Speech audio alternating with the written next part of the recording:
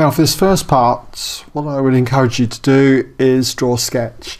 Draw a sketch something along these kind of lines. I mean, I can't draw railway tracks, but we're just going to leave them as circles like this, okay? So we've got our two trucks, P and Q, P with a mass of m kilograms and Q with a mass of 3,000 kilograms. And we're told that before they hit one another, let's just mark in that this is before. Before they hit one another, we're told that P is moving at 15 meters per second towards Q. And we're also told that Q is at rest. So you could put another arrow there saying 0 meters per second. Or you could write just at rest. It's up to you. Okay. Now, P hits Q, and then we're told that after the impact, and you could draw this diagram again if you want, but I tend not to, I just write after, and then we're told that after the impact, P reverses direction. So P is going to be going obviously to the left, and we're told it's going at 3 meters per second. And Q moves off with a speed of 9 meters per second. Well, obviously, it's got to move to the right if they hit, okay?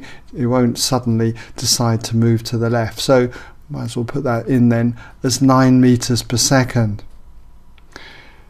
Now, in the first part of the question, we've got to find the magnitude of the impulse exerted by P on Q.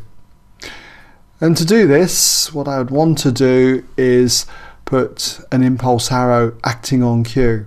When they bang into one another, P exerts an impulse towards Q in that direction. I'm going to call it I. It also turns out that there's an equal and opposite impulse on P, acting towards the left. Now, when they ask you to work out the impulse of P on Q, it's this I, but it doesn't matter, you could work out this I, it would still come out, or should do, to exactly the same value. But I'm going to consider this particle purely because we know everything about it. We know its mass, we know the initial velocity, and we know the final velocity.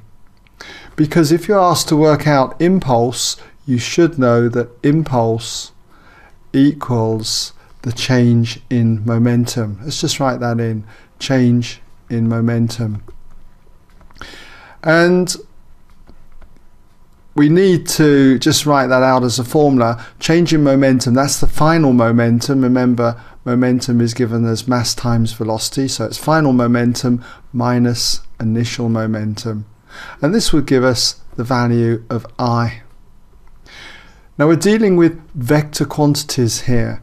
So we need to have a positive sense. So this is the place I always find people tend to trip up on. So put a positive sense down. And that positive sense is in the direction of the impulse.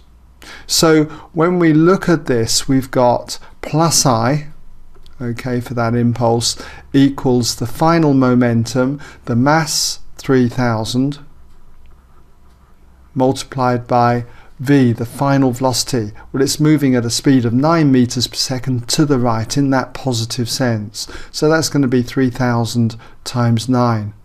Then we've got minus the mass, which is 3000 again, multiplied by the initial velocity. Well it was at rest, so it will be simply 0.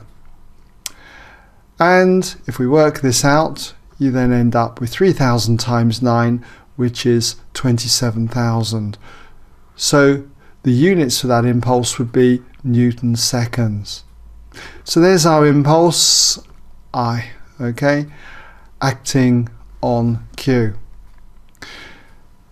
So there you go. I hope that's given you some idea how you could go about that.